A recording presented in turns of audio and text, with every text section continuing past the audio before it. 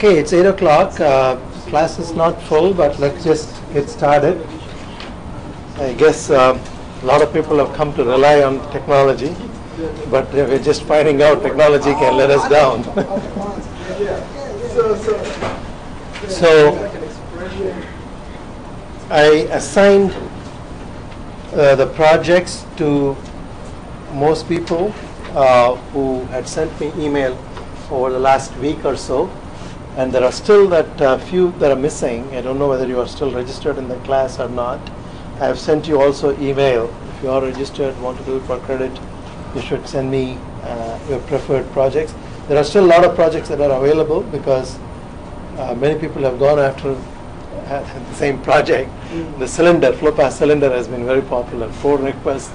but I said there is enough in the literature. It's a very well studied problem that four people can focus on four different aspects. So I have assigned specifically one circular cylinder, one square cylinder, and the other two, two circular cylinders and two square cylinders. So it's your job to find the paper with those specifications. There are a lot of parameters that you can play with. Um, so we, need to come up, Mrinal and I will suggest a tentative schedule for you. That is, maybe in two weeks, finish the literature search and produce a progress report so that we know that you are progressing in the right direction. Those will not be assessed. And then uh, maybe problem formulation in about three to four weeks' time. We have exactly two months from now till first week of May. And uh, we will schedule the presentations and make the project reports due in the first week of May so that uh, we can do the assessment based on that. So if you are registered in the course and you haven't sent me the list, uh, you would have received an email this morning and please send me your project uh, request. Are there any questions or recording? I just want to check. What happened to the guys from Petroleum Institute? Is there a technical problem on that side? I don't know. Um, just give me one minute. I'll just shoot an email and see whether there is an email from them as well.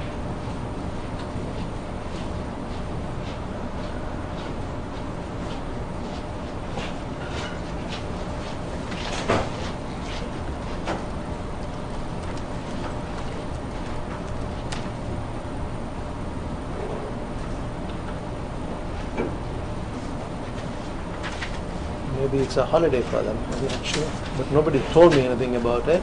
Uh,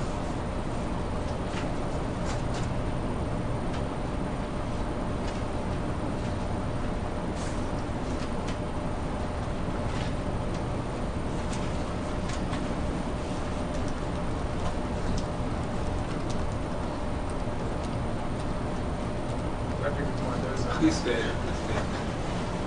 ah, okay.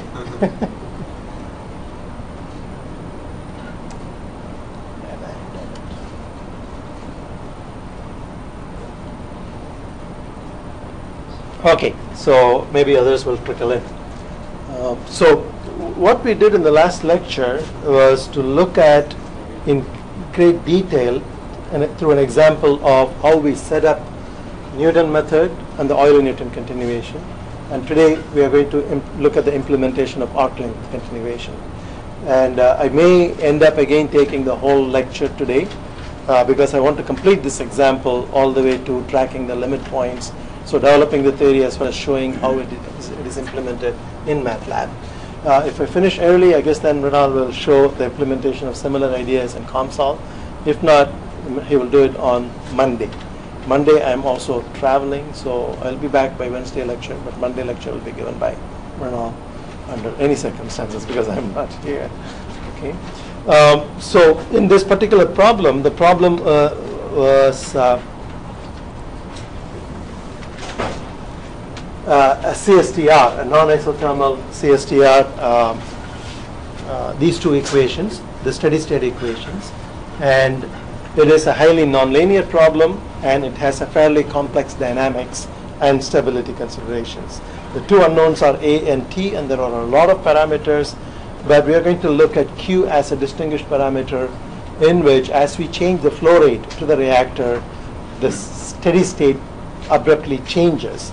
And we saw in the last uh, lecture, uh, in the previous lecture, the theory behind how to implement continuation methods, and last class actually implemented it in MATLAB. And uh, the picture looks like this. If you plot the state variable A or T against the control variable Q, the picture looks something like this. Okay. Um, but what we have been able to do with the simple continuation is only the part that goes like this, and then the solution jumps and continues on like that. And then when you start with this one and continue back, the Euler-Newton continuation, we saw that it'll continue like this and then jump back. So from this uh, Euler-Newton implementation, we know that there is a jump across these two points. So there are limit points. Limit points are points where the solution turns on itself with respect to that parameter, and the eigenvalue of that system goes through zero. So the stability actually changes. If this is a stable system, that will become an unstable system. Again, another limit point will make that as a stable system. So in reality, you will be able to re realize both the upper and the lower branch. But the intermediate branch, you will not be able to realize in an experiment because it is an unstable system. And we can actually test that by calculating the eigenvalues of this 2 by 2 matrix. Okay. So before I continue with the arc length, I want to make sure if there are any questions. Have you had a chance to look at the code? I put all the MATLAB file in Moodle, and I've also assigned you a next assignment where, where you will work through the same algorithms but on the Bratu problem with a similar exponential nonlinearity with a similar uh, solution structure with an S-shaped uh, solution profile. No questions? How about people in PI? I saw only one person so far. So those guys online, are you guys okay with the last lecture? Any questions on that?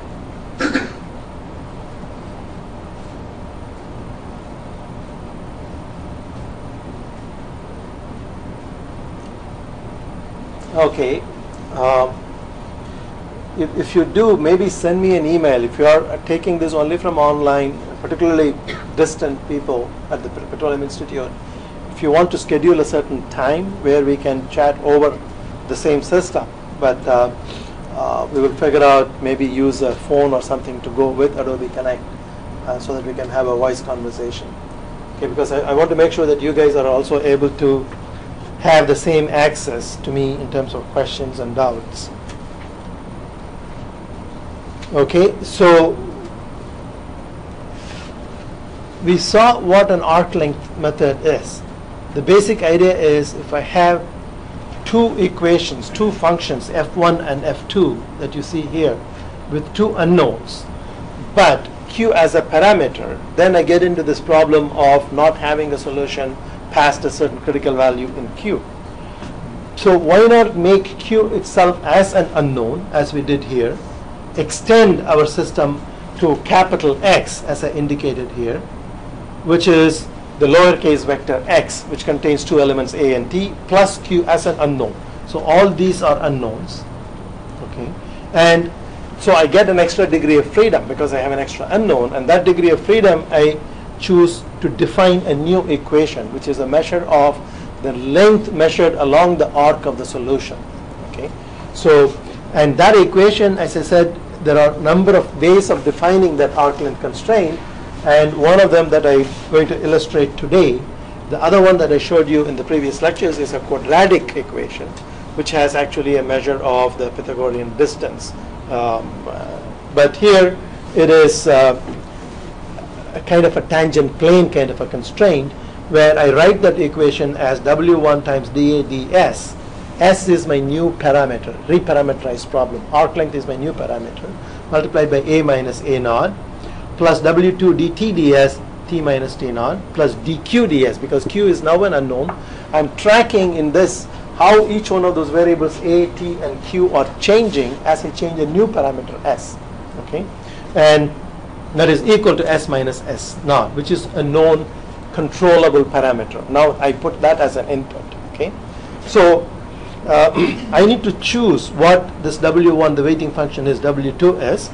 And the reason I have put only W1 and W2 here is because I know in this problem A is much lower in magnitude than T is, and I want to bring both of them to the same level. Otherwise, when I'm adding these numbers, this number turns out to be very small.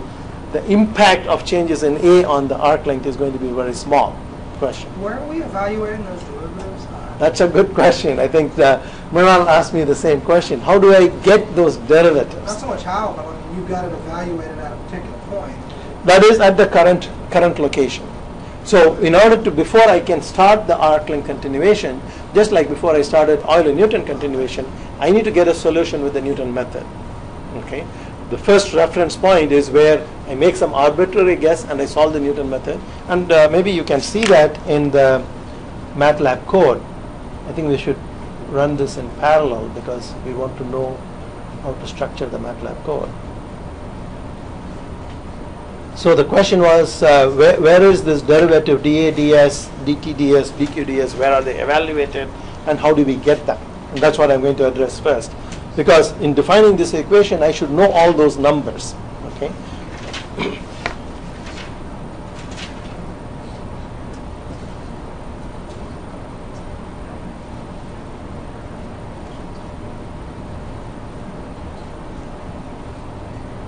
So this is the script that we have been writing and uh, developing further on.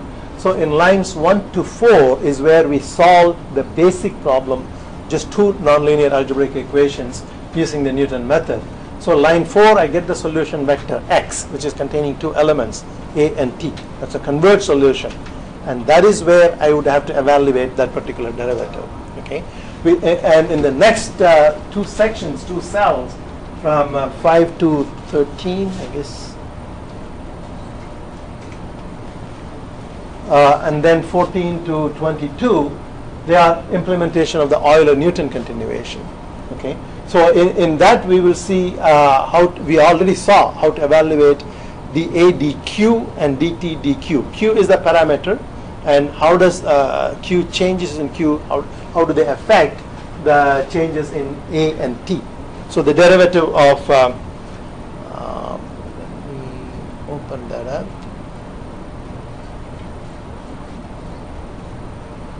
Euler Newton. Okay, so here you see in line um, 10, dx dq vector is calculated. Okay, and that vector will contain dA dq and dt dq. Okay, um, so what we want to do now is calculate the derivatives with respect to s because we have reparameterized the problem. What we have here is a derivative with respect to q, but we need to get the derivatives with respect to s. Okay, so let's go and see how we would do that. So in this equation, I'm, uh, uh, I'm going to take the derivative of n with respect to s, dn ds. Okay, and uh, remember the only variable in n equation is this a, this t, and this q. A naught, t naught, q naught are current reference points, and w1, w2 are weight factors which are constants again. And similarly, the dA, ds, dt, ds, dq, ds are the slopes at the current location. They are also constants in that equation. Okay, so when you're taking the derivative of this, what you will get is w1 dA ds multiplied by another dA ds here. Okay, and then A naught will be 0. W2 dt ds and then the derivative from the second time, I mean the temperature which will be dt ds. Okay, plus dq ds multiplied by again another dq ds.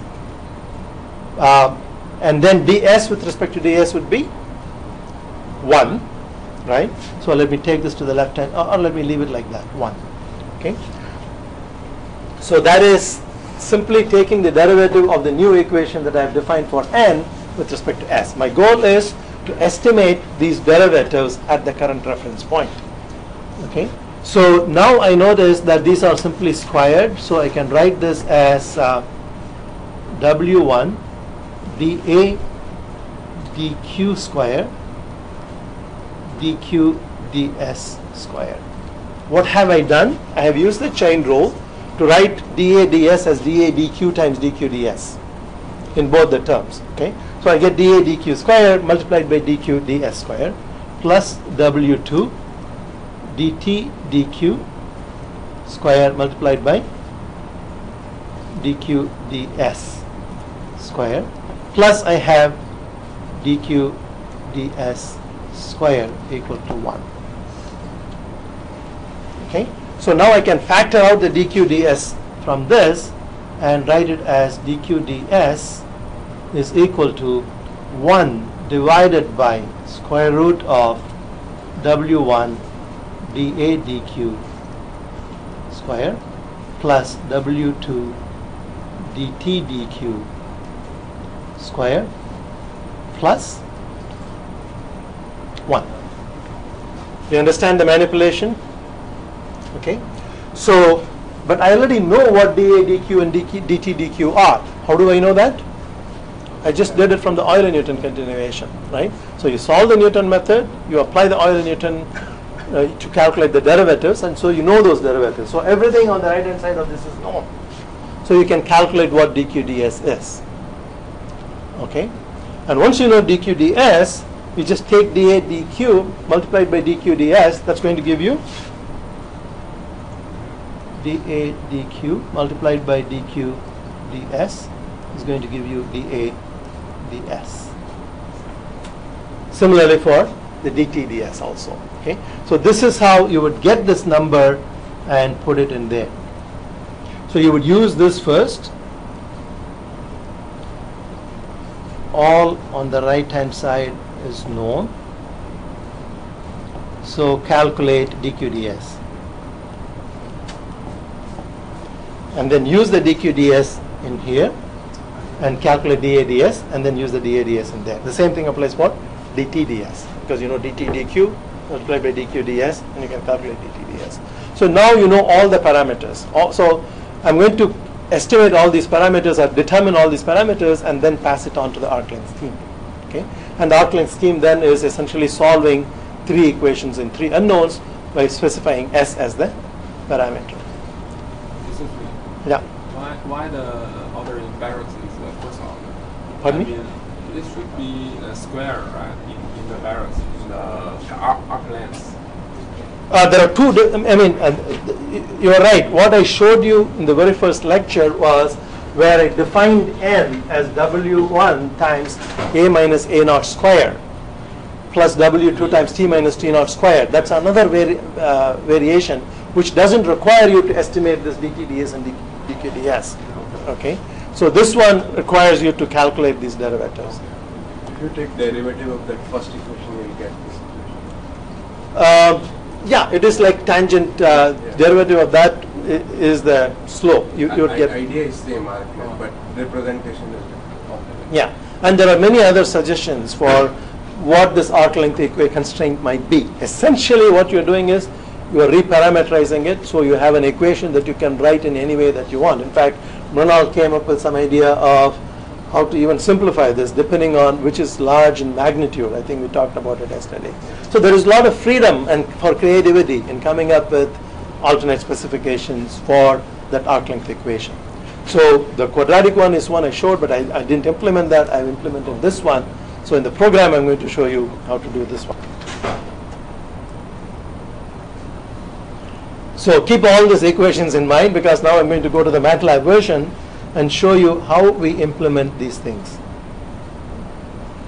on the same problem. Okay. So here is my driver and uh, the, the script and the arc length scheme uh, is at the very bottom.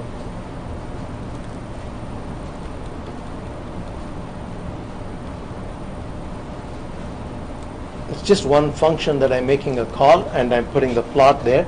So let's just run it maybe and then see, run it up to that point.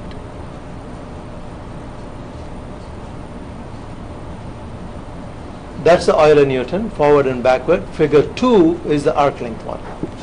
Okay? You, you see that it's went back all the way and then uh, the same thing, the temperature. Okay, so that's what arc length is able to do, trace the entire path with S as the parameter. Now, as I'm solving this, I'm plotting the data point. Every time I give a new delta S, I solve it, and uh, can you see something um, with that information that I've given you? Every data point that is calculated is plotted here. Okay, so are, are all the data points equally spaced? What you'd see is that in certain sections it takes a larger delta S. Whereas as it turns around, the curvature is tight, it takes a smaller delta S. That's a strategy that we have not talked about, but I have implemented in the code, which is essentially to adjust the step size delta S. You can do it with a constant delta S.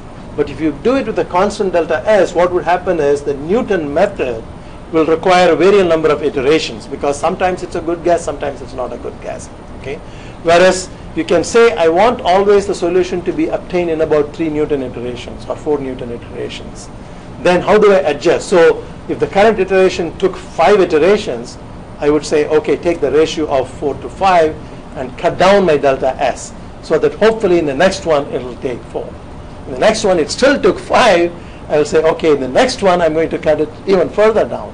Okay, This idea is called the automatic step length adjustment and it is used in ordinary differential equations. We will see that later on. Okay, But the same idea can be implemented in the arc-length scheme and that is why you see the points as not being equally spaced because it's adjusting the delta S automatically and I will show you where it is uh, doing that. Okay, So the arc-length scheme basically is able to turn and you can continue this forever. Okay, if there are other turning points, it will get them. Uh, what would happen, for example, if I had a solution path that looks something like this? In this particular problem, it doesn't occur, but it may occur in other problems. You have a branch like this. Okay, so if I continue uh, from arc length, it's going to turn around without any problem around these. what will it do here? If I use, pardon me? No, no, no. The Newton method will converge to one of those three solutions. All of a sudden, now I have a possibility of three solutions for the same value of delta S. I'm not specifying delta Q anymore. Delta Q is an unknown still. Okay, so I am somewhere here, and I'm saying, find me a solution. What happened? Find me a solution at a certain delta S from that point. Okay, so it could be a solution at this distance, at this distance, or at this distance.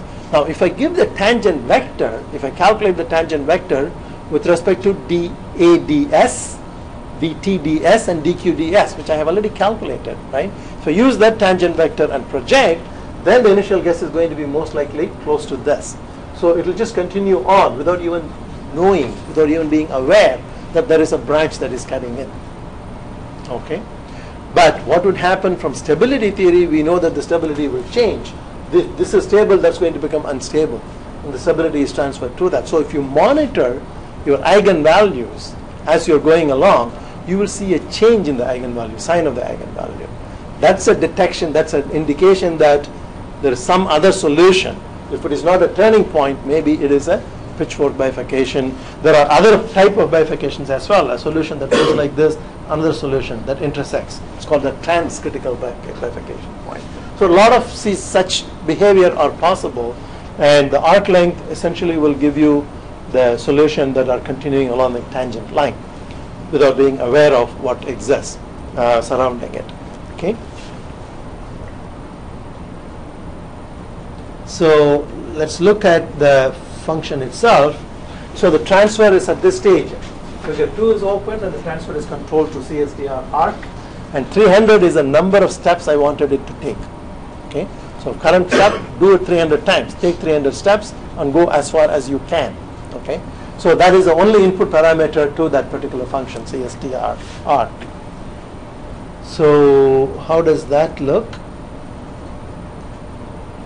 Where is that function?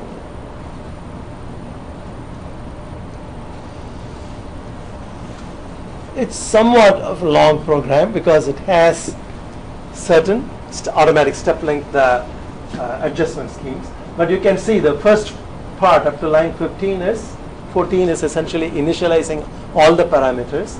And then in 15, I'm ini- initializing the guess because I've not passed any guess anything to this. I've just passed the number of steps that it needs to do. So inside the arc length, I say roughly the initial concentration is 0.0005 and the temperature is 310 and that is a vector x. and then I take x1 and put it into A. These are all just cut and paste from other programs. And initially I set q as equal to 1. So I'm going to start from q equal to 1 and continue.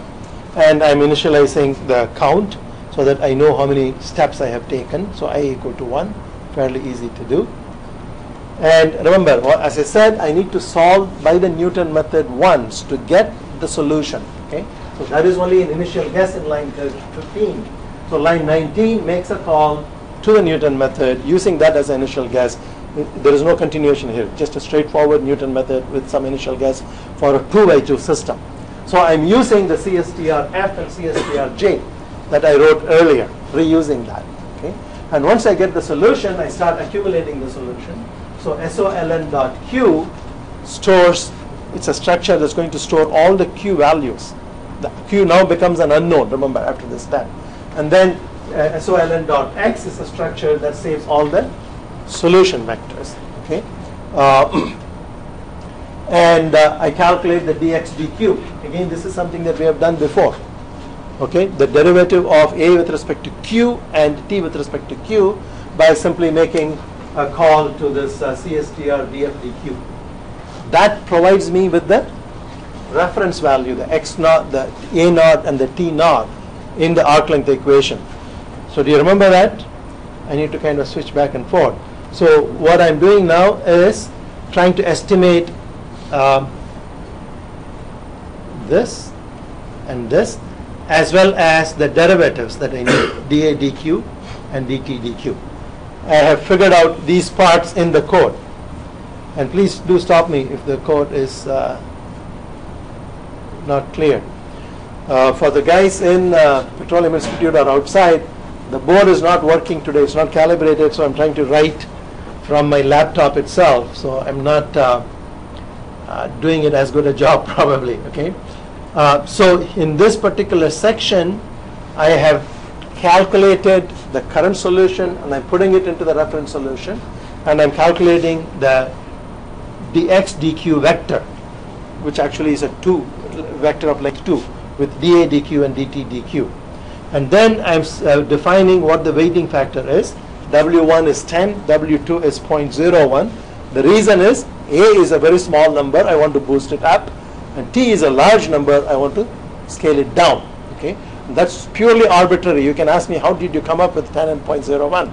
You can come up with anything else, 15 and point.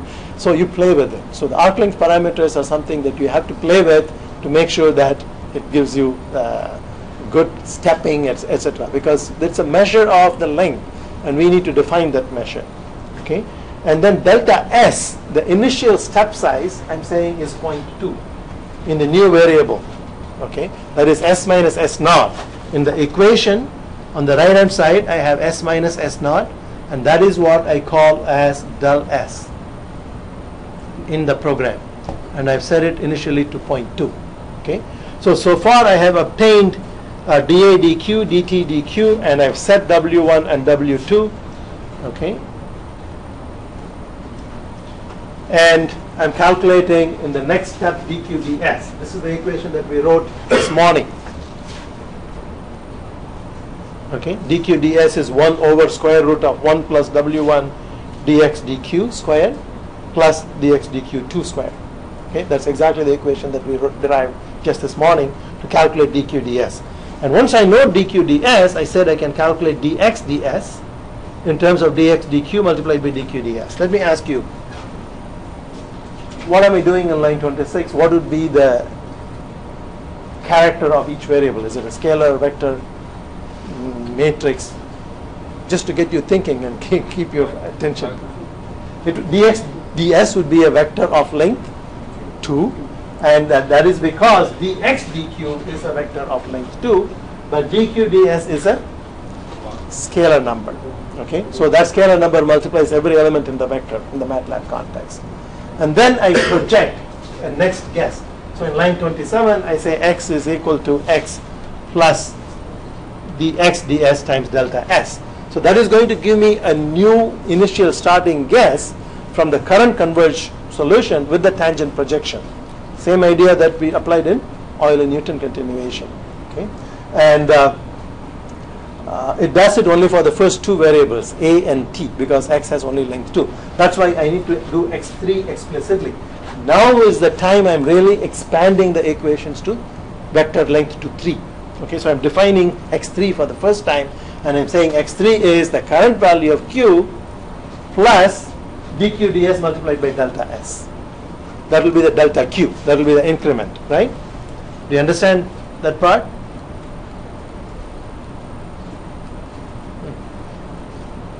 I'm talking about this particular line. Okay. So now I have a projected initial guess for the Newton method for the expanded set of three equations. Okay. And I have defined all the parameters I need in the arc length scheme, so I'm going to gather them all up. So I define a new variable called arc p, which is the arc length parameters, and it is of length 9 okay, in lines 30 and 31. And what does it have? It has the weighting function in a certain way I'm packing it so that I can use it in other programs. Where would I need it? I would need it in the function evaluation because I'm going to use Newton method to solve these three equations. So I'm going to make a call to the Newton method. Newton method will make a call to the function and the Jacobian for the 3 by 3 system. I still need to construct them. Okay. So in there I will need all these parameters because the third function is going to need what W1 is, W2 is, what dx ds is, etc. They are all calculated only in this function, but I need a mechanism to transfer them. Can use global to transfer it, but I'm um, I'm not really sure what I did it, but we will see what I did. So I'm right, right now just packing all the variables that I need that appear in the arc length equation, the definition of the arc length equation. And then I said J max equal to 4. This is for controlling the step size automatically. So I'm saying the maximum number of Newton iterations I would like to have is 4.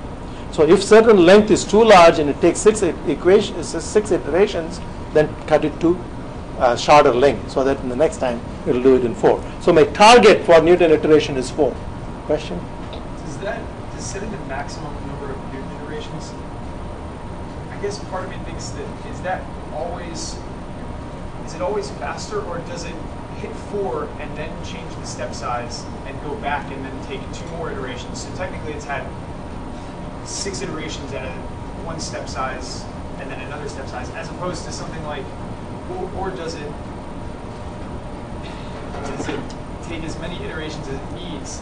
And Yes, yes. the The way I have implemented it is once I give it an initial guess and a next parameter value, I pass control to Newton. And you take as many iterations as you need to converge.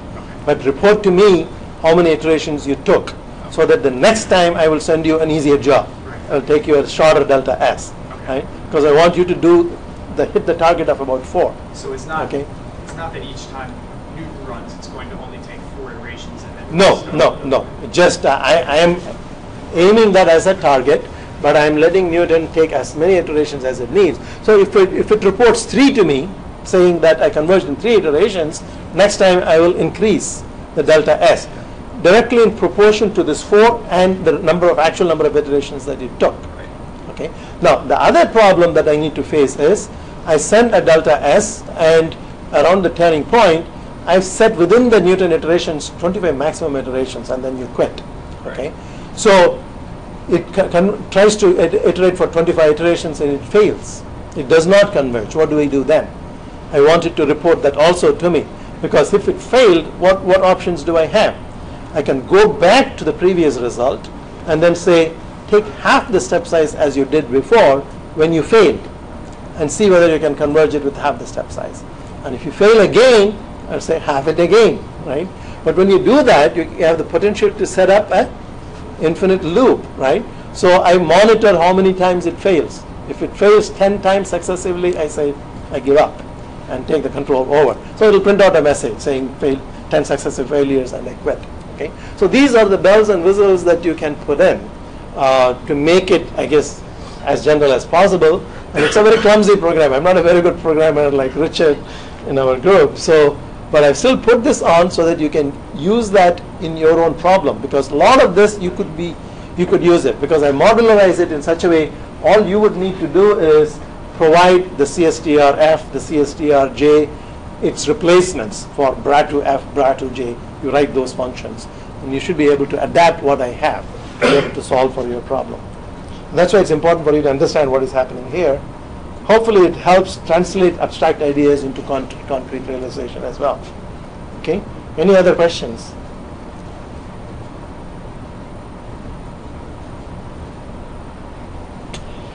Okay. Then start, starts the big loop, which is going to do from step two to n steps. Why did I start with two?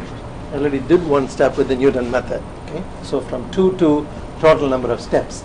So I'm preparing my code for eventual failure. So I take x and save it into a vector called xsave.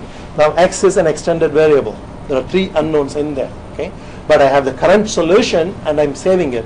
In case it fails, I need to come back and restart it from that. Right.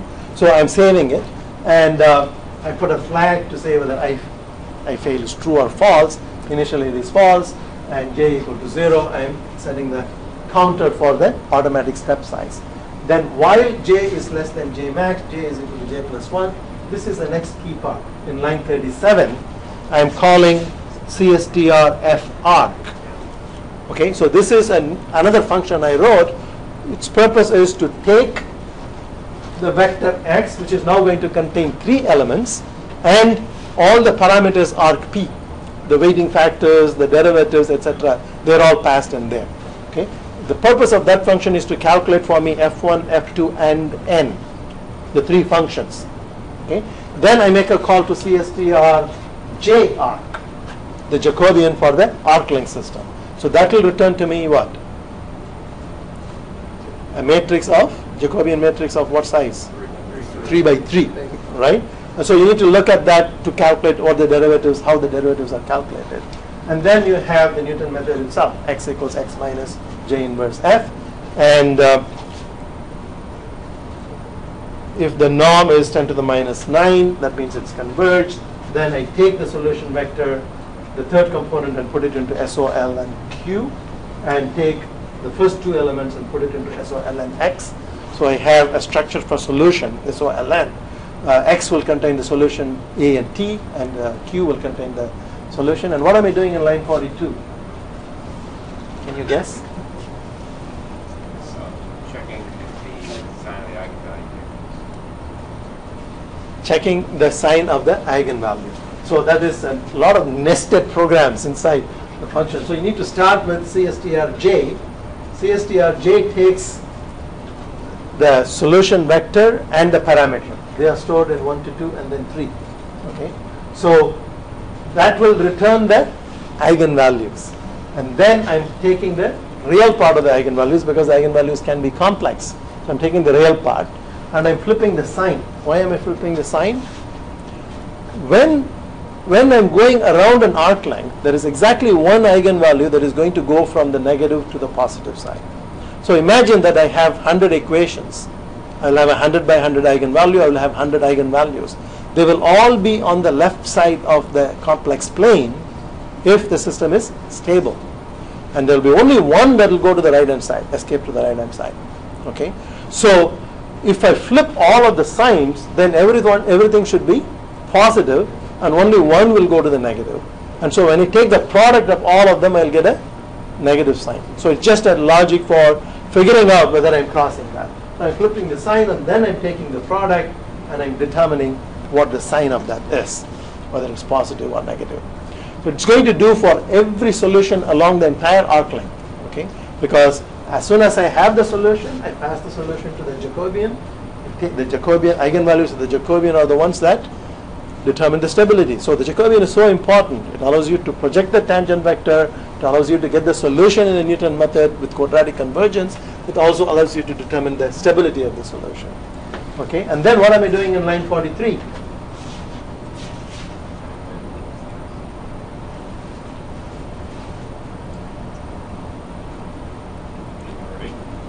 Yeah, louder. Why am I inverting the Jacobian? What am I trying to achieve in that line? You're getting, the XDS would be, yeah, because Jacobian constants, the XDS would have to be If you understand this part, I'm confident that you, I, I will feel confident that you have understood everything that we have talked about. Because I have not explicitly talked about this up to this point, but we have used this idea before. What is the idea? The idea is to get the tangent vector for projection for the next solution. This is the Euler-Newton continuation. In the 2 by 2 system, the Euler-Newton continuation basically said that I have the Jacobian multiplied by df dq. Q was the continuation parameter, right? Here s is the continuation parameter. So I need to take the derivative of df with respect to ds. Now what is df1 with respect to ds? The first equation does not have s at all. That's why it is 0. The second equation also does not have s at all. That's why it is 0. So the key for you to understand is this, what is this vector? That vector is df ds. Okay? The third equation has s on the right hand side as s minus s naught. So df ds would be minus 1. You have to take that as minus equal to 0. Remember, n is equal to 0 is how you must write. Maybe let's go back to this equation. So I'm talking about uh, dn ds calculated from this. After you write it as n is equal to 0, that means left hand side minus right hand side equal to 0. Okay? Then when you take the derivative of this with respect to s, you're going to get minus 1. Okay? So it's so easy to calculate the tangent vector after you've done all the other work. Just one line gives you uh, the derivative. Is that clear? Okay, so I have Euler-Newton continuation on the extended system of three equations in line 43. Okay, and in line 44, what am I doing? Adjusting the step length. Okay, so the new del S is going to be the previous del S multiplied by J max over J. Okay, where did I get J?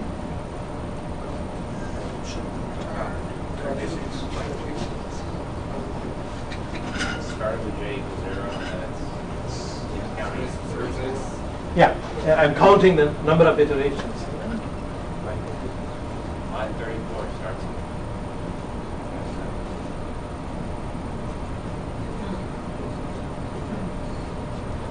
I'm actually lost. I think there is a prop, prop bug in the code there. No, thirty, thirty-four is J equals zero, and then thirty-six makes it one. yeah. Yeah, yeah, right. So every time it goes through this iteration, it increments j. So the actual number of iterations is counted in j. Okay. So if the actual number of iterations is the same as maximum iterations, that means you are okay. Previous delta s and the next delta s will be the same. But if the actual number of iterations turns out to be six, then it will be reduced. The next delta s. Yeah. Going back to line 43. uh, 43. maybe- Yeah. Yeah. Maybe I'm still stuck on the kind of the idea of reparameterizing the problem, but couldn't you figure out, I guess, an ideal third equation based on just calculations from that line? Because if you had, Yeah. if you had like a circle uh, instead of the plane, you would have zero, zero, negative two. right? Yeah, yeah, to to S, negative to Okay, S. right, right. Yeah, yeah, Yes, yeah, yeah. yeah, So do, do you get any other insight out of that line? You, you, you, no, no, no. There is no, there is no, there is no insight to be gained by that. But there needs to be an understanding why we are doing it. We are doing it. Maybe let me go back and uh, try to explain that uh, better. Okay, so in the original case, if I had A versus Q, okay, this is the solution vector. Right. And if I have a converged solution at that point, I want to project that. So I want to calculate what dA dq is. Okay, and that's Euler-Newton continuation. Now what I have done is I have reparameterized the problem So when I plot A versus S, I'm not going to get that solution. How would the solution look like? In fact, something that we talked about in the last, class. It may go up and down, but it will be unique. Okay, there is no fold like that because S is a distance measured along that, and that continuously increases, right?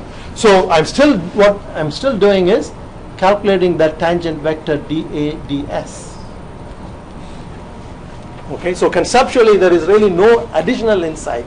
If you understood what we are doing there, we are doing exactly the same thing on an extended set of equations.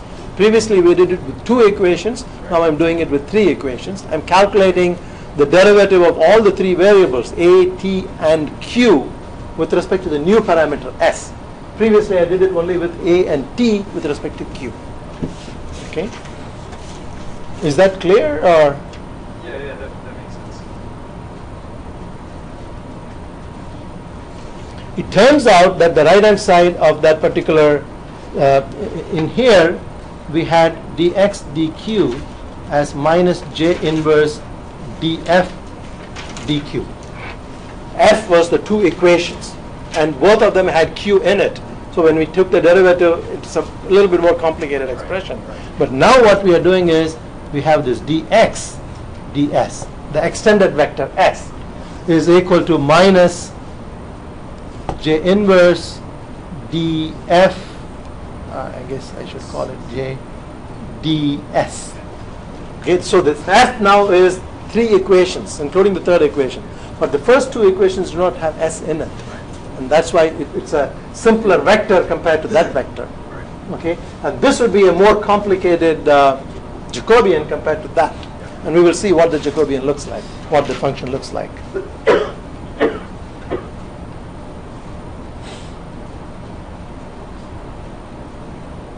Okay, so in uh, line 43 we calculated the tangent vector projection. Line 44 we adjust the step size. What am I doing in line 45 to 47? I am updating all the arc length parameters because I have a now a new value for dx ds. Right? I'm storing it in arc p because I need to pass this back in here. Arc P is the vector I'm passing to the function and the Jacobian, and they need the current reference point and the tangent at the current reference point. I've just calculated the current, the tangent at the current reference point. So I'm packing them in the right order. And uh, what am I doing in line 46? Can you explain that to me? Can.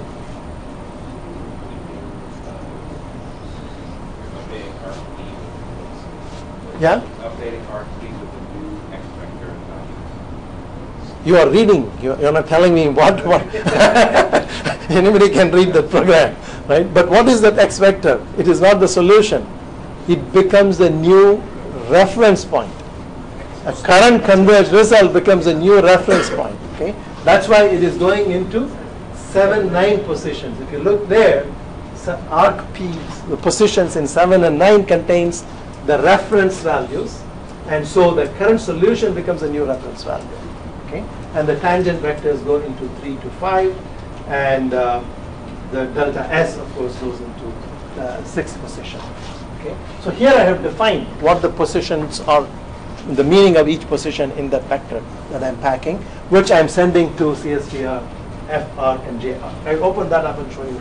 But I just want you to understand the flow of the arc length uh, uh, program logic.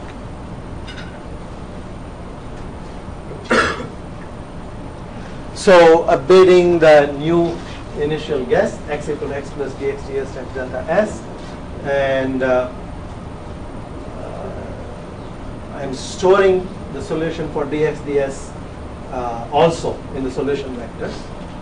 And uh, if this condition is true, that is less than this, it's going to go through this Newton iteration. If it is converged, then it's going to break out. Okay, and then it, it will check. If I fail continuously 10 times, I want to quit. So the error will actually take control back into the desktop. so 10 successive failures. So I'm keeping track of the number of failures, and that is done here. Okay, if j is greater than j max, then half the step size. Okay, delta s is equal to delta s over 2, but I need to retrieve the previously saved solution vector, restore them, and then send it back so that I can restart from the previously converged result because I took too large a step size, Newton method failed, so I need to take half the step size. So that is the essential flow. And once this is completed, I get all the solution and I can plot that. Q against uh, the first vector A, first element of the vector, or Q against the second element of the vector. Okay, that is the one that generates the graph that you saw.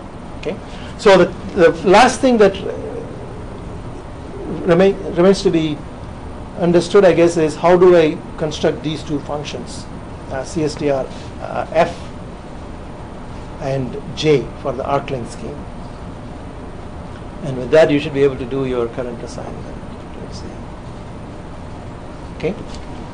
So this function is not really very difficult to understand because we have already written this function, except I'm making a change to pass all the arc length parameters. And from the arc length parameters, I am unloading all the variables so that I can use them directly as W1 in the equation. So the first two equations you already have. So I just copied the CSTRF function, I changed its name to CSTRF arc, and I added the arc t parameter, and I added the third line in line 21. That is the definition for the arc length equation n. Okay, so here I have the x reference, I have the dx ds, everything is as you see, except the left hand side minus right hand side equal to zero. So the del s comes to the left hand side here, minus del s. Okay, any questions on that? This is not as difficult. Even the next one for j is not as difficult.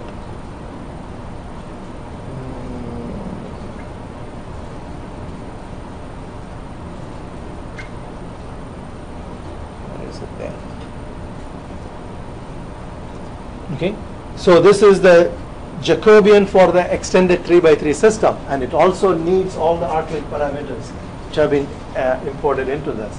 And line 19 to 22 we already wrote, okay, the derivatives of the 2 by 2 part of the matrix. Now we need to assemble the 3 by 3 part of the matrix.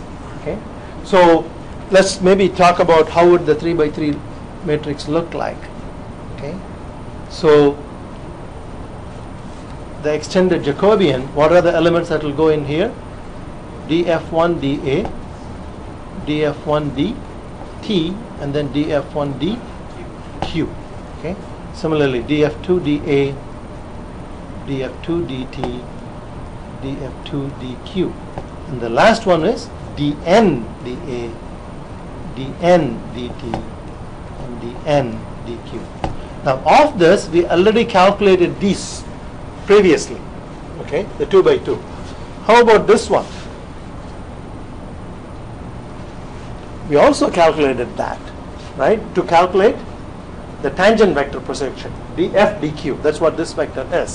so the only two new elements that you need to calculate are the three elements on the bottom row.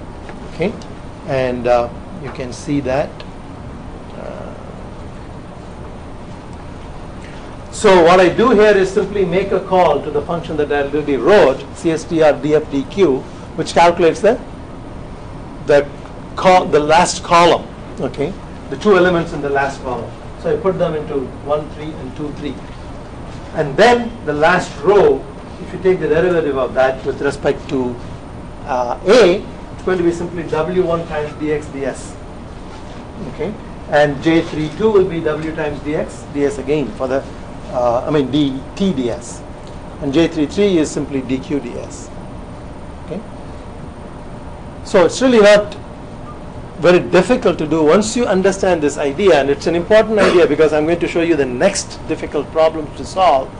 The problem is how do I know exactly where the turning point is? Okay, what this method does is it just turns around.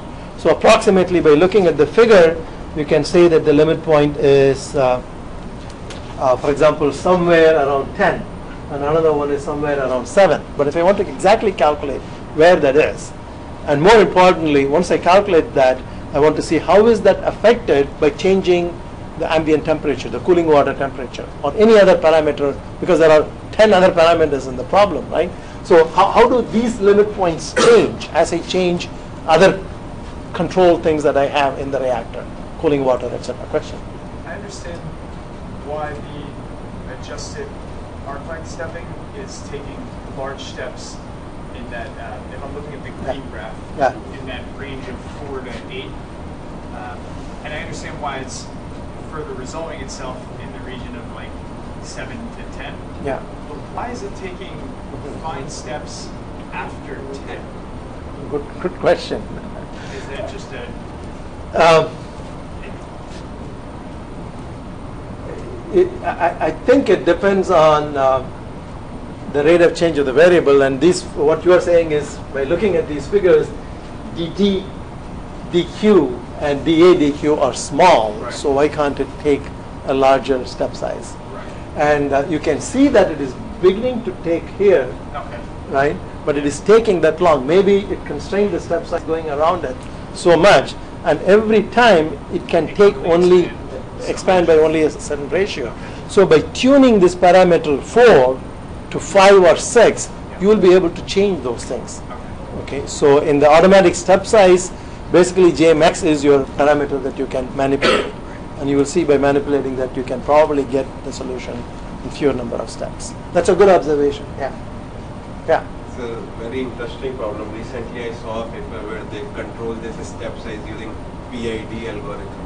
Right. Like use control to achieve the step size. So find the right step size at, at each point of the branch. Yeah, yeah, yeah. How you can tune the step size to make this whole calculation more efficient. So merging ideas from process control with ideas from nonlinear dynamics is a good one, but I'm surprised that it would work because the whole, I mean, from I'm not a process control expert, but the whole idea of process control, particularly PID control, is that you somehow have a linear system. So the response is around the linear steady state. You have a steady state, you linearize the model, and then you can expect responses that are kind of linear. So basing, based on the linear model, you can tune your PID control. But this is a highly nonlinear system, so you don't even know when the turning point is, right? So how would that algorithm work in this situation? I don't know. What did they find? Did they actually say that it works? Yeah, they, they say. Okay. I have to read more. It's an interesting idea. What is Interesting idea. implemented here is also kind of feed forward kind of control. It's a feed forward, Like yeah. You Yeah. look if it is converging quickly, increase or decrease your step size. Well, it's a purely explicit method. Okay, we will talk about implicit and implicit met- methods later on in the course. It's a purely explicit method because it uses the current experience to project what the future one is. An implicit method will actually anticipate what is going to occur in the future. Okay, and that will have better stability characteristics. This method, when you implement it on ordinary differential equations, is notoriously known to fail. it'll, it'll be called unstable, numerically unstable method, and we will see that later on. Okay? But for this purposes, it works reasonably well in all the There are problems. no, no explicit methods that are absolutely stable. Exactly. All the explicit methods have stability bounds, and we will see what it means when we look at ordinary differential equations. But the ideas have basically been borrowed from there. Okay? And S is like T with ordinary differential equations in, in some sense. Okay, any other questions? So the point, yeah, go ahead. So like uh, for the fork bifurcation, if you uh, use that uh, like you draw a square, use, use that method, can you get three solutions? For the Uh, bifurcation? yeah, for the fork, yeah, you just talk oh, the po- pitchfork, yeah. yeah, yeah, yeah, Yeah, yeah. So if you uh, do, you know, the square, use that uh, form, can you get uh, three solutions at that point? But uh, if you use the tangent projection, you are guiding the solution along the tangent vector, Uh-huh. so you won't know the other solution. So people have looked at, so you monitor your determinant. The determinant changes sign, that means you have a stability change. Okay, so that means around the place where the determinant changes, there is a solution perpendicular to that. So there are actually branch switching algorithms. What ideas do you think they would use? Gram-Schmidt orthogonalization type of process. Okay, so I have a tangent vector. So if I give the initial guess along the tangent vector, I have already a good guess for that path. Mm-hmm. So now I want to take a direction that is perpendicular to that, in the hope that will be a good guess for the second branch. Okay, so this is how all these ideas come together, and you can exploit them. So you, you basically understand how to take a vector in a direction perpendicular to the original one. We have seen that in Gram-Schmidt. We have seen that in the uh, conjugate gradient method, for example. Right? The same idea can be applied here, and there are papers devoted to branch switching and explaining uh, and applying it on sorry very difficult uh, problems. Okay, so that's a good point, good observation. When you have a pitchfork, can you switch? And there are ideas in there, and the whole course can be given on this, but we need to move on to other things. So I'm just introducing the basic ideas, and then we will continue on to the other thing. So important part, as I said, was uh, to understand this idea of an extended system, okay, to achieve a different purpose. In this case, the purpose is to turn around. Okay. The next question that we want to answer is, I want to calculate exactly where that limit point is to as many precisions as I want, 16 digits or whatever. Can I do that? Okay. If you, all the tools that you have are the ones that you have seen, how would you do that? You have arc length continuation, you have Euler-Newton continuation, and the problem that I pose to you is find the value of q to seven significant digits where the turning point is. What would happen in the scheme that we have done so far would be if I blow this up, I might have one solution here, I might have the next solution there. Okay? So I'm not going to know exactly where that is to very large precision. So how can I achieve that to a very large precision? I can monitor my dq ds. Okay, because q was increasing, all of a sudden q will start decreasing. Okay, so if q changes sign between these two points, I could invoke bisection method. What does the bisection method say? I want to find out where it is zero, right? So I'm going to go back and take half the interval, keep repeating that on that, and that may give me one, one approach. If I have to, yeah. Couldn't you also just take the second derivative and set it equal to zero and solve that? Now, now you're talking. Okay, that's a higher level of a, a problem that you can impose. Not quite second derivative, but something that we know must be satisfied at that point. Will the second derivative be zero? I don't know. If it is an inflection point, it might be zero. The second derivative is zero. It is not an inflection point. It's not an inflection point, okay? When would you have an inflection point? When you have something like, oops, when you have something like this, for certain value of another parameter in the problem, T, the T, T star, the coolant water temperature. Now you change the coolant water temperature, and these two limit points start coming closer and closer to each other, okay? So the curve becomes maybe like this, and maybe like that that would be an inflection point where the two limit points merge at one, uh, one, one to one point. Okay, that may be a point that we want to calculate also. That would be what we call as a cusp point, cusp catastrophe. It's a higher order singularity, and we saw that in the bending problem, Benjamin's bending problem. Okay, so the, when you have something like this, it is called a simple limit point, and mathematicians, of course, immediately define what a simple limit point is. A simple limit point is one where you have exactly one eigenvalue that goes to zero. Okay? And so now, because of the stability changes around that, okay, it goes from negative to positive, so it has to go through zero. So at the limit point, the limit, the eigenvalue will be zero. So can I impose that as an con- additional condition on the set of equations and then make q again a variable and ask the question, where does the determinant go to zero? As I change q. So I'm searching for q now and asking the question, this is like as checking with bisection method, but bisection method is highly inefficient. So we can now pose this as a Newton method in an extended system. So this idea of an extended system is very important. And for every one of these higher order singular points, there is an extended system. People have developed that. But for the simple limit point,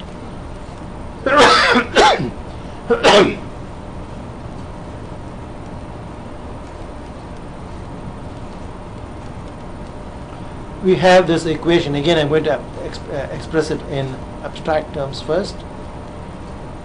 So I have a set of equations. In your case, it may be 160 equations, the Bratu problem. Okay? So x is the vector matching with the length of f. As many functions as there are unknowns. And q is the distinguished parameter. And with respect to q, there is a limit point. Okay? So there are n equations in here. In our particular example, there are two equations. and the general eigenvalue problem is j times phi equals lambda times phi. j is the Jacobian of that particular function f, n by n matrix. Phi is the eigenvector, right? And lambda is the eigenvalue. So that is the eigenvalue problem. And it is the sign of these eigenvalues that determine the stability, etc. But there are n eigenvalues, but I'm interested in only that which is zero. So I'm going to set that equal to zero. And I'm going to add a set of equations, j phi equal to zero. So once again, I get n equations from here. okay, I know the j. I can calculate what the Jacobian is. But phi is my null eigenvector. That is the eigenvector that corresponds to the zero eigenvalue. It is itself not zero. The vector itself is not zero. Just the eigenvector it corresponds to the zero eigenvalue. Okay. I, do I know that? I don't. I need to calculate that as part of the solution. Okay. But how many equations do I have and how many unknowns do I have? I have n in the first set, I have n in the second set. I have two n equations and I have two n plus 1 variables. What are the two n plus 1 variables? The vector x, the vector phi, each n, that gives me 2n, and then the q, which gives me 2n plus 1. Okay? So I need one more variable, one more equation. What would that equation be? Now, one way of satisfying the second set of equations is to put phi equal to 0. That will satisfy it, right?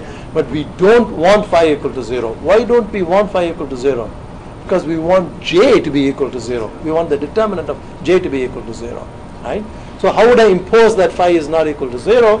I just can put a constraint. Some function of phi is equal to 1. You can pick any element of phi and set that equal to 1. Okay? So this is called an extended system for a simple limit point calculation. Okay? It is, it, it is valid only at those points because this equation will not be valid at any other point. Okay, that, the second set of equations is valid only at the limit point. So get, getting a good initial guess for this is going to be a challenge, right? Because you don't know what the, uh, you cannot give any vector in the x uh, state space, a and t, for example, in this case. Any questions on that idea? I'm going to talk only about limit point because there are a lot of others, very similar extended systems. But once you get the notion of extended systems, you can open up any paper and uh, read those uh, extra conditions that are appropriate for each type of singularity, like a cusp, for example. Yeah. When you're setting the condition on phi, what exactly is the condition? I'm going to show you because we're going to solve this again with MATLAB so that you see how you take this concept and apply it specifically for this particular problem and implement it in MATLAB. So I'm taking you through the whole stages so you will see. I'm not sure whether I can do it today. We also show it in COMSOL. I use this to calculate limit points using this. Have you already done it? Yes. Oh, wonderful. okay.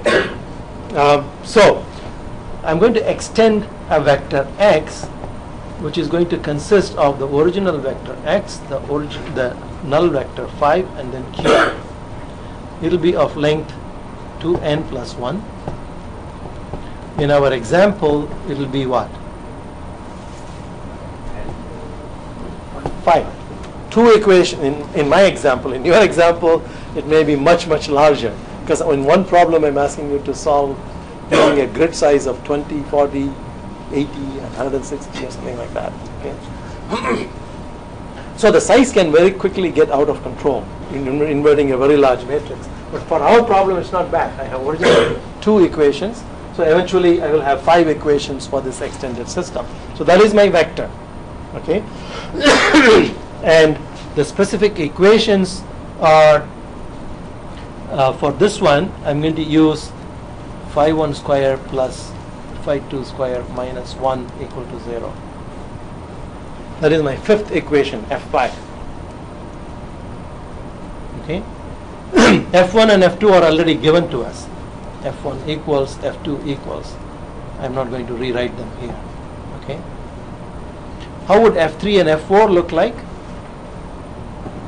F3 will be J11 phi 1 plus J12 phi 2 equal to 0.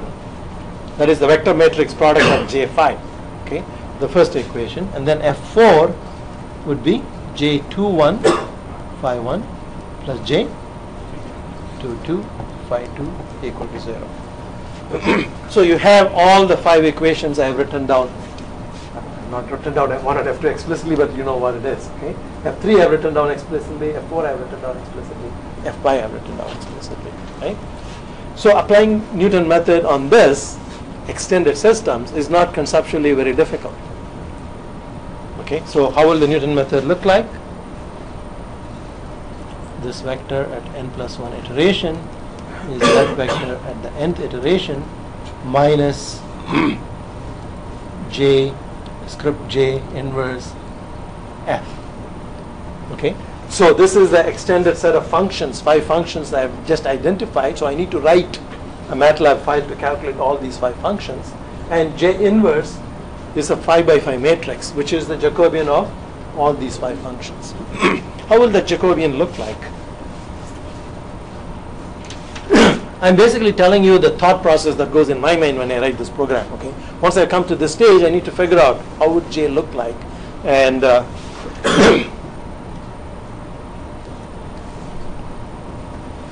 I'm going to break this up into block. Okay, one, two, three, four, and five. Similarly, one, two, three, four, and five. What would go in block one? Derivative of function one with respect to a, and then derivative of function with respect to t. Okay, so that I already know. CSTRJ I already wrote. Okay, that is my normal Jacobian. I have calculated for the 2 by 2 system. So I just have to insert that into the particular block. What would the next block contain? df1 with respect to d? Phi 1. Does phi 1 appear in the first equation? No. Right? So once you figure that out, what will all these be? 0, 0, 0. Okay. what will the last one contain? df, dA, dq, and dt, dq. q is the unknown, the fifth unknown, right?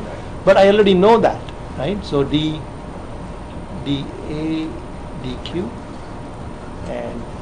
sorry, df1, df1, and df2. I've already calculated that also, okay?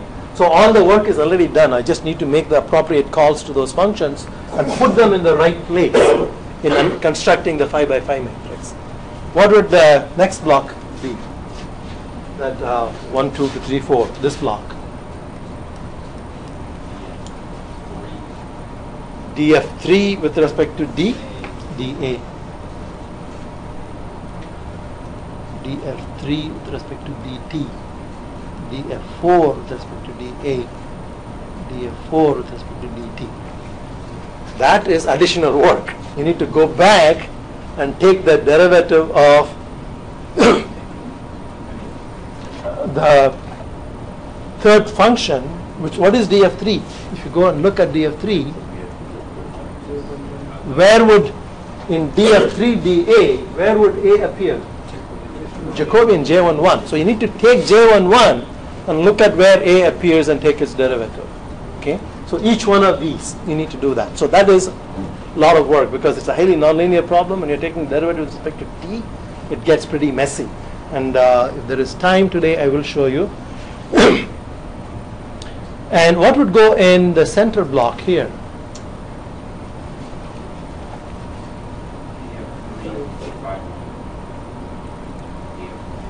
Df3 d phi 1 which is just j11 df3 d phi 2 which is just j12 right?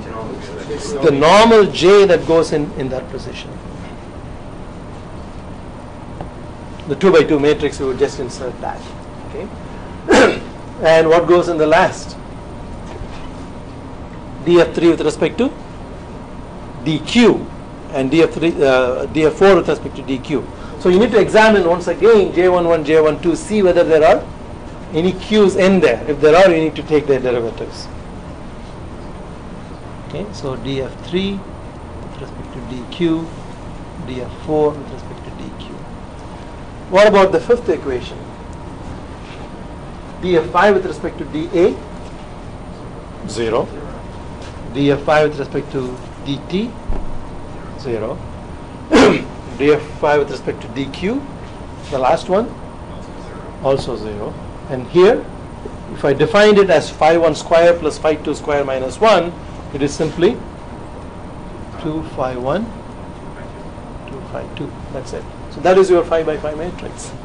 so you have the function, you have the Jacobian, make a call to the Newton method, give it a good initial guess, and it will precisely tell you where the solution is. So let me just run that by.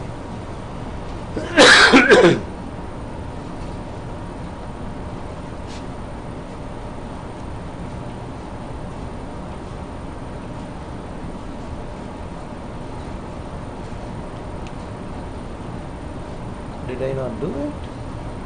It was late last night, I guess, so I didn't actually. Thought I did.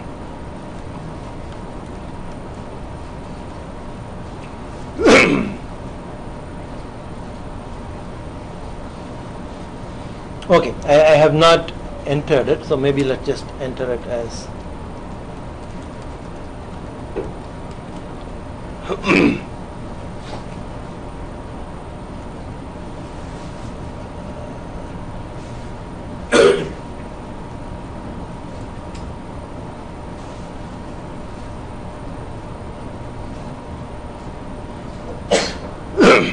So what would I need to do? I have shown you, or I have not shown you the two functions, right? I wanted to show you that. Uh,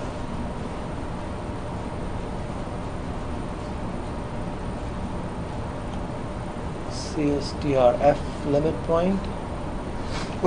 so again, cut and paste. So CSTRF, I copied it and I re- renamed it as lim, but I didn't rename it here.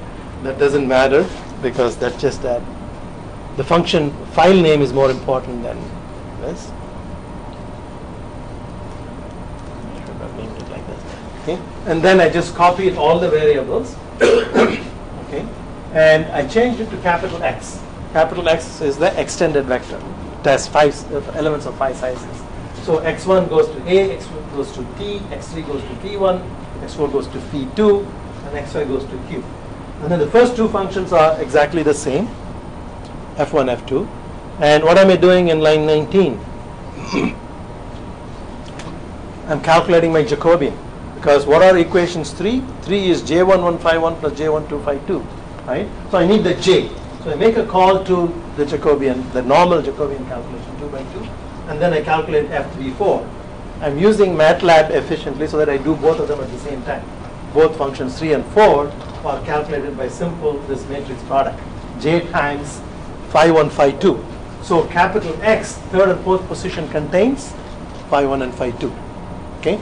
So i'm calculating in line 20 the, the 3 and 4 line 21 is my fifth function. Okay? So i have five functions. At this point maybe i should show you before i show uh, we're almost out of time. Let me just take one minute and show you how I would use without writing the Jacobian. Writing the Jacobian is going to be a bit messy because you need to find all the derivatives of the Jacobian terms. Okay, you need to figure that out. Uh, but you can use another function in MATLAB which is called fsolve, which solves any nonlinear algebraic equations. Okay, so I can make a call to fsolve and pass it this particular function CSTRF limit. Did I type it? CSTRF limit. And I need to give it a guess. What would be the guess? Let me just try 0.005, 320, oops, 320. Oh, let me make it as a column vector. So those are the first two guesses. And for third and fourth one, I don't know what the uh, null eigenvectors are going to be, so I'm just going to go 0 and 1. For the fifth one, I have some idea of where it turned, right? So, was it 10? 9.5, 9.8, something like this. And let me see whether it works.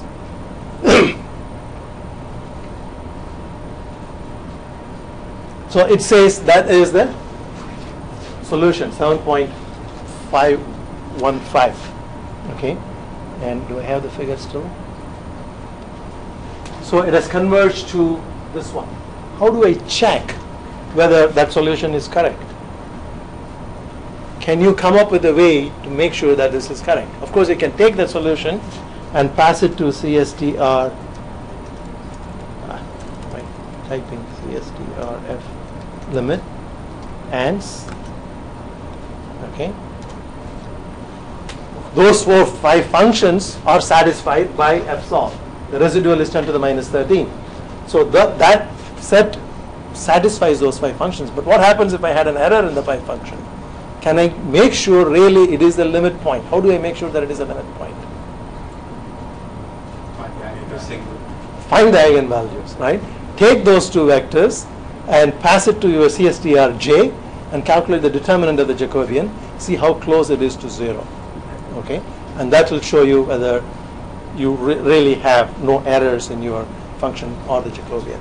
So I have uploaded all of them. So look at them, um, uh, and maybe when I come back, if you still need help with this, I will go through the rest of the code uh, to show you. But I think you get the idea now, right? How many of you are totally lost? you are laughing. This is really advanced stuff. So yeah, I'm, I'm really challenging you, but I think I'm taking you through more help for a graduate level course. okay, and uh, hope to minimize the pain when you're doing your assignment. Okay, so see you on next Wednesday, but Mrinal will give the Monday lecture, taking you through COMSOL, implementing a lot of these in COMSOL. Okay, good luck.